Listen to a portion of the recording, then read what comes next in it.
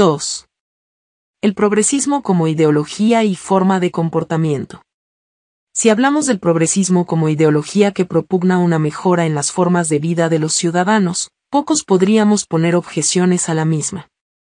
En sí misma, sin entrar en formas utópicas, es tan necesaria como deseable y no es muy diferente de otras, si bien diferimos radicalmente en la forma de lograrlo.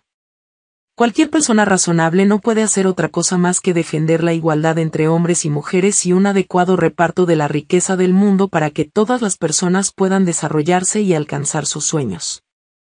Ahora bien, si hablamos del progre, o del progresismo, como veremos en estas páginas, no nos estamos refiriendo a tal, como pudiera suponerse, sino que estamos hablando de una forma de entender la realidad que se transforma en forma de vida y que se caracteriza, sobre todo, por una relativización moral y social, una forma de ver la vida basada en la imagen, y por el maniqueísmo como bandera.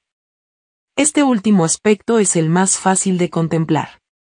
Todo progre de bien solo tiene dos formas de ver las cosas, blanco o negro, lo que yo pienso o contra lo que yo pienso. No hay más así de simple y así de complejo. Deliberadamente olvidan la enorme escala de grises, así como todas las cuestiones que hacen que cualquier decisión de la que hablemos pueda verse desde diferentes prismas, ninguno necesariamente más válido que otro. Quizá es en este aspecto donde radica el mayor de los problemas, ya que el progre envilece sus posicionamientos de tal forma que si tú no compartes su fórmula para alcanzar un objetivo común, directamente pasas a ser un enemigo. Lamentablemente, no hablamos solo de un enemigo ideológico. Para el progre pensar diferente significa que defiendes unos intereses ocultos y que tu única intención es boicotear sus buenos propósitos. Una premisa fundamental del progre es que las cosas son como él las ve, y si no las ves igual, serás sometido al escarnio, el insulto y el rechazo, porque como hemos mencionado ya, y veremos, el progre está en el mundo para enseñarte la verdad, su verdad, redimirte, sacarte de tu confusión y llevarte a su tierra pro-gre metida. Este es uno de los puntos que hacen más complicado mantener una conversación sensata con un progre. Hay que tener claro siempre una cosa, el progre no razona, solo ve extremos, y hacerlo es una pérdida absurda de tiempo y energía. Es más provechoso llevarlo a su propia contradicción. Tampoco cambiará de opinión, como cualquier secta, esta también entra hasta el tuétano y no es posible el raciocinio. Ahora bien, por el camino, al menos, le habremos provocado a pensar y le habremos mostrado lo bien que sienta hacerlo.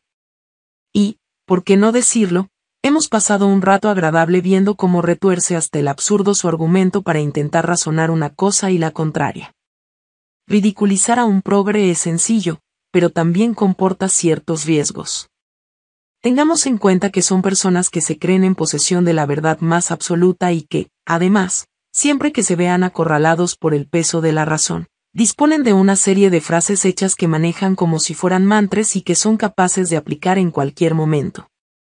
En una situación así verá el lector que la simpleza del pensamiento progre siempre puede escudarse detrás de la influencia que los medios de comunicación tienen en la gran mayoría de la población, menos ellos, claro, en teorías conspiranoicas, que siempre ganan fuerzas y detrás están los norteamericanos y su malvada maquinaria imperialista o los oligarcas y la casta. Y en última instancia siempre está el manido y socorrido no tienes ni idea de lo que estás diciendo que para muchos progres.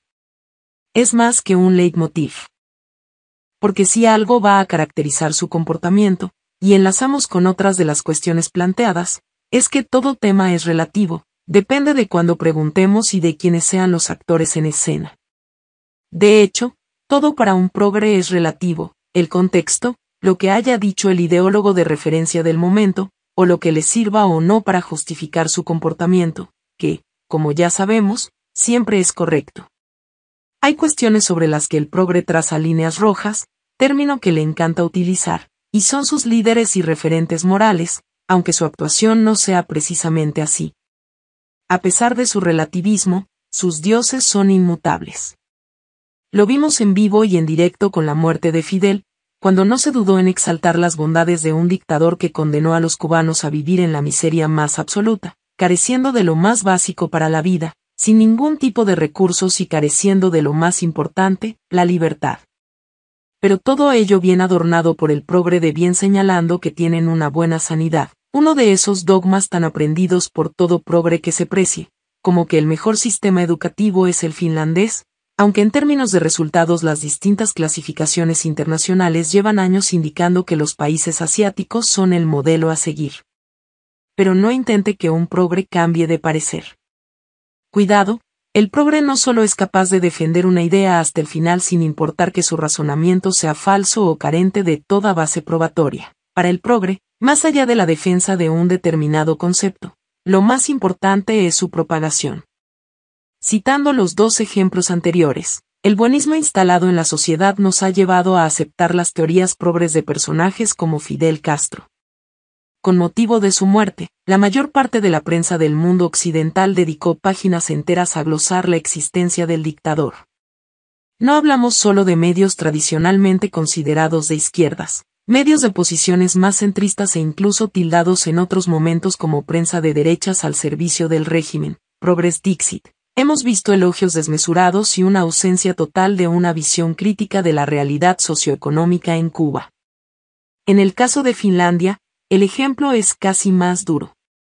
Me atrevería a decir que a casi el 99,9% de las personas, de cualquier ámbito social, que se les preguntara por el mejor sistema educativo del mundo, responderían que Finlandia. Es decir, ante una ausencia de conocimiento, el progre aprovecha para establecer su mensaje como única verdad. Desgraciadamente, muchas veces lo consigue. Lo llamativo en estos casos resulta como su llamada a la alarma y a la movilización en unos sitios si se produce una carestía en algún bien, se torna en justificación y alabanza si ello ocurre en Cuba o en Venezuela.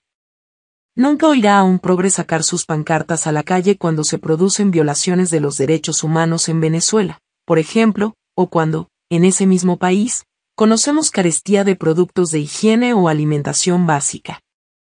Tampoco los verán salir a la calle si, como ocurrió en 2016, en Turquía se produce un golpe de Estado encubierto. No, sus pancartas solo sirven para protestar si, por ejemplo, gana Trump, cuya victoria, como todos hemos visto, no ha supuesto la llegada del apocalipsis pero no dudaron muchos en bramar su salida de Estados Unidos si eso ocurría. Parece que ninguno ha emigrado aún, y tampoco lo querían hacer a sus países amigos, como Colombia, Cuba, Venezuela o Bolivia. Lo querían hacer a Canadá. Con todo, las extensas fronteras canadienses no se han visto desbordadas por estadounidenses progres, porque al igual que pueden alarmar y decir que emigran si luego se quedan, encaja igualmente en su argumento, porque es progre y pueden defender una cosa y la contraria. Siempre y en cualquier caso. Lo realmente curioso no es ya lo que mi vecino el progre comente en un bar, sino que vemos a personajes públicos adquirir un posicionamiento y un compromiso con el ánimo de influir en la mayor cantidad de personas posibles. No obstante, ni siquiera su condición de personas públicas y, por lo tanto, ejemplo de comportamiento para muchos, hace que los progres prefieran el análisis razonado a la demagogia más evidente. En muchas ocasiones, basta con que haya un micrófono, una entrega de premios o cualquier acto público para que esas personas nos digan al resto de los humildes ciudadanos lo que tenemos que pensar, hacer o votar. Estaría bien que aquellos que nos aleccionan sobre nuestra vida pudieran presumir de una vida ejemplar de respeto a los demás, convivencia y responsabilidad. Pero no son pocos los ejemplos de este tipo de personajes públicos que se ven salpicados por casos de evasión de impuestos, problemas con la justicia o conductas indecorosas. Pero comprendamos que tienen que hacer esto, porque la falta total y absoluta de fundamentación, criterio y coherencia se compensa con una imagen buenista y cuidada que hace que permee en el imaginario colectivo, y a partir de ello, encuentren vía libre para cualquier acción. Resulta de hecho llamativo cómo lo consiguen, y no negamos que es una de las cuestiones que nos causa mayor sorpresa, e incluso estupefacción, cuando vemos cómo opera. Pensemos si no, por ejemplo, en el movimiento, o como queramos calificarlo, ninguna nomenclatura conocida los define claramente, Podemos en España. De todos es conocido, y así, además, lo explicamos Axel Kaiser y yo misma en nuestro libro conjunto El engaño populista, como su ascenso se debe, entre otras cuestiones, a su conexión con los populismos totalitaristas latinoamericanos. sin embargo, una cuidada imagen y un discurso tan buenista como pulido, donde la gente sustituye al pueblo como concepto, han calado incluso en sectores que se pensaba que no podían hacerlo. Pero si pensamos en el discurso de Podemos, veremos como entre sus múltiples ejes, en ocasiones contrapuestos, está el de las mujeres. Ello no ha sido óbice para que, entre tanta llamada al feminismo progre más rancio, en sus cuadros dirigentes escasee la presencia femenina, hasta el punto de que el penúltimo asalto al poder llevado desde dentro llevaba por bandera una mayor feminización de Podemos. Porque, como sabemos, y si no lo explicaremos en las siguientes páginas, un argumento de autoridad para cualquier progre es que si no hay suficientes mujeres, es una estructura machista, heteropatriarcal y discriminatoria. Poco importa si la valía se prueba, importa el sexo, o el género, por usar su terminología. Pero en este absurdo de su postura feminista se encuentra también como el que ante cualquier crítica a una de sus correligionarias masculinas saltaban cual manada de lobos hambrientos a una presa. Ahora, si es uno de sus líderes quien escribe que azotaría a una mujer, no hay condena que se precie, que para eso es el amado líder cuya suprema bondad no es cuestionada, y al que todo se descontextualiza porque las terribles fuerzas del fascismo, el mismo que ellos imitan, lanzan falsos bulos para evitar el empoderamiento de la gente. No conviene confundir, el progre carece de muchas cosas y sus razonamientos se corresponden con una lógica que roza el absurdo, pero si hay algo que no son, es tontos. En el discurso progre hay un elemento que prevalece y que termina resultando extremadamente dañino. Se trata del lenguaje, o más bien, de la utilización del lenguaje como arma de adoctrinamiento. El fenómeno Podemos en España, uno de los últimos y más claros ejemplos, ha logrado introducir en el debate público términos y conceptos que han moldeado a su antojo. El ejemplo más palmario es el del gobierno de la gente.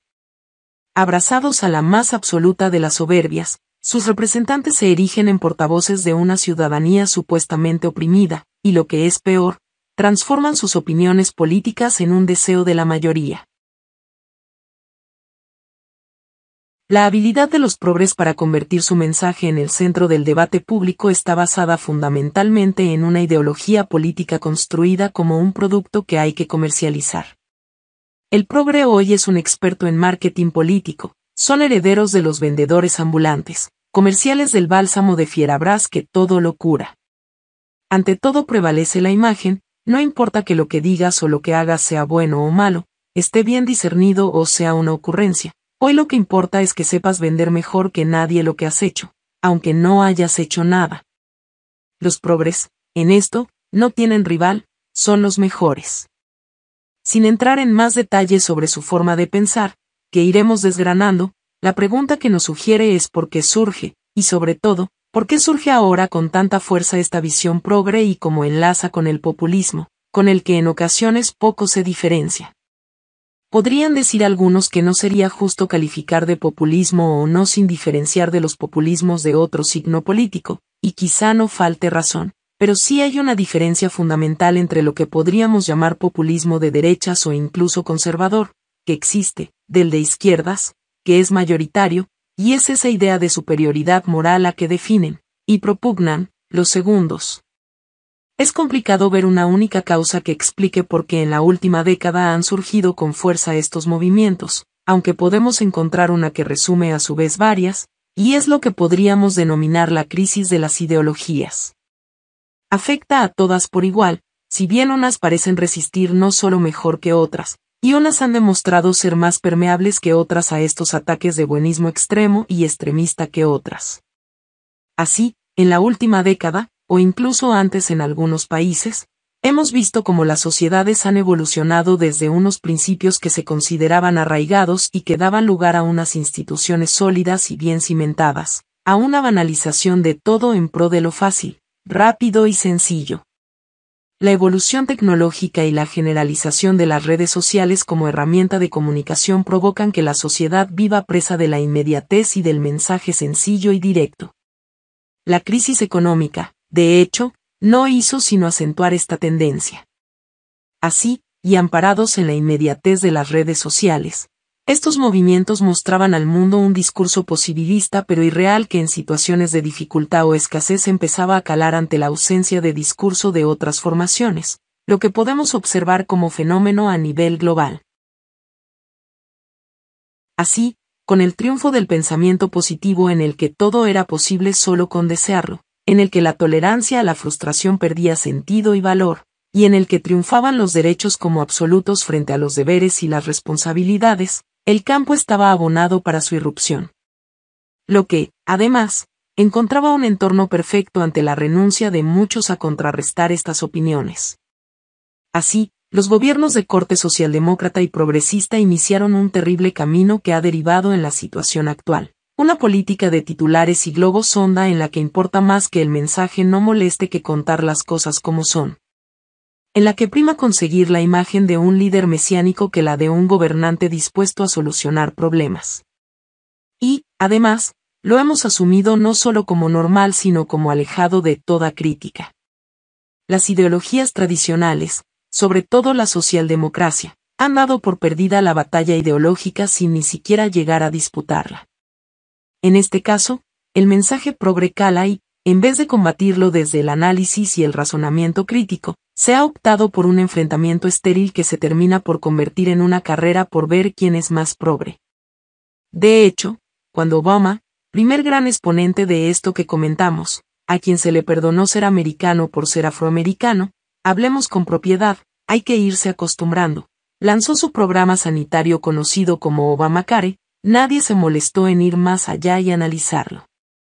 A los ojos del resto del mundo, se vendió como un programa que venía a solucionar los problemas de los estadounidenses que, pobres ellos, no se habían nunca molestado en querer de verdad un cambio, y venía Obama para lograrlo. El que fuera su gran mensaje se ha demostrado con el tiempo que es una gran mentira, pero no oirá usted a ningún progre decirlo. Ya lo habíamos advertido, no importa si lo que haces está bien o mal, importa lo bien que lo has vendido. Es una gran mentira por su origen, ya que las similitudes del programa de Obama y de la propuesta de Quentin, lo que Hillary de hecho reclamó como suyo tímidamente en la campaña presidencial estadounidense de 2016, que para sorpresa de los progres del mundo entero perdió, son más que notables. Pero lo importante es que este programa no significaba sino un parche al actual sistema que no solo no ha conseguido sus objetivos, sino que se ha traducido en un aumento desmedido del gasto público que no es precisamente la política más adecuada en tiempos de escasez. Pero a ello volveremos.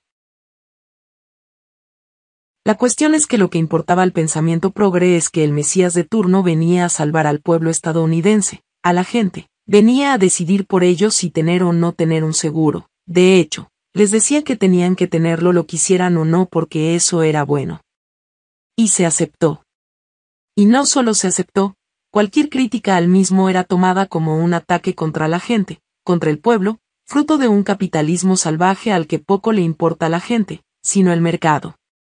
Lo que sorprende de esta deriva, y en parte es lo que considero que ha permitido la permeabilización del pensamiento progre, es que se asumió como bueno y nadie salió a explicar lo contrario. Porque evidentemente no se trata solo de decirlo, se trata de hacer también pedagogía pero a contrario senso. Es este camino el que se debe recorrer ahora. La clase política debe retomar con valentía un discurso elevado, alejado de cuestiones simplistas de corto recorrido. No hay que tener miedo a contar a la opinión pública la verdad. La labor pública exige hoy un compromiso absoluto con la responsabilidad y dejar de lado el buenismo que solo busca el aplauso fácil. Ese es el camino que se ha abierto con Donald Trump, un hombre que, con todos sus defectos, los liberales también sangran cuando se les pincha, ha revolucionado el panorama de la política estadounidense y mundial, y está aterrorizando a los progres de todo el mundo. Su triunfo, en el que ninguno de estos progres creía, proclamando con soberbia que su simpleza lo incapacitaba para ser presidente de la nación más poderosa del mundo, es una prueba más de que hay una mayoría social dispuesta a elegir la libertad cuando se le habla con claridad, cuando se aparta lo políticamente correcto y se llama a las cosas por su nombre.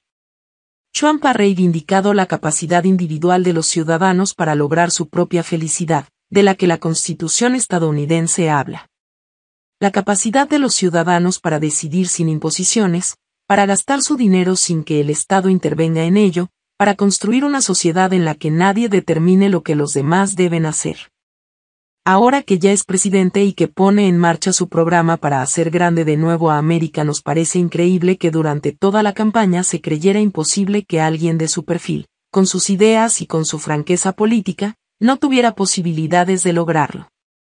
Lo insólito es que no haya surgido antes alguien así,